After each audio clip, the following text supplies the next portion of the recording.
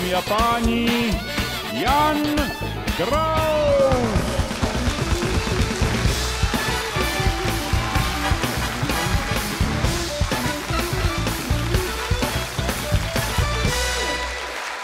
Dobrý večer, dámy a pánové, dobrý večer.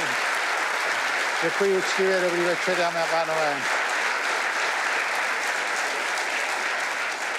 Děkuji úctivě, dobrý večer. No tak, koronáč nám řádí. Eh, Koronavirus je jeden problém a druhý problém je mediavirus.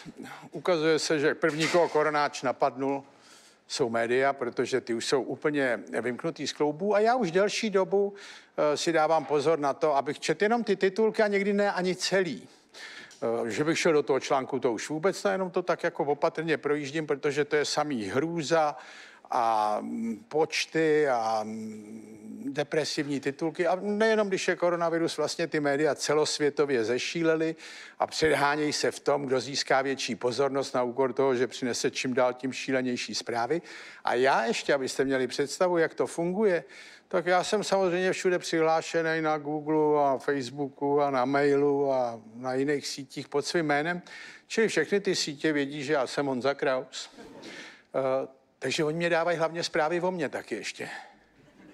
To si vůbec neumíte představit, co o vás vychází. To jako, to, to otevřete a rovnou to přeskakujete, protože to je za prvé jedna lež za druhou. Některý jsou už jako science fiction, tam se pustil bulvár, ten už si vymýšlí tak, že už je to zábavný chvílema. Oni popisují náš každodenní život s Ivankou. Nikdy nás ani nezahlídli, ani přes plot, ale tam je krize a tohle a druhý. Čili eh, já to mám ještě o to horší a eh, nepříjemnější, ale myslím si, že to není takový problém dát si na to pozor a moc to do sebe neládovat.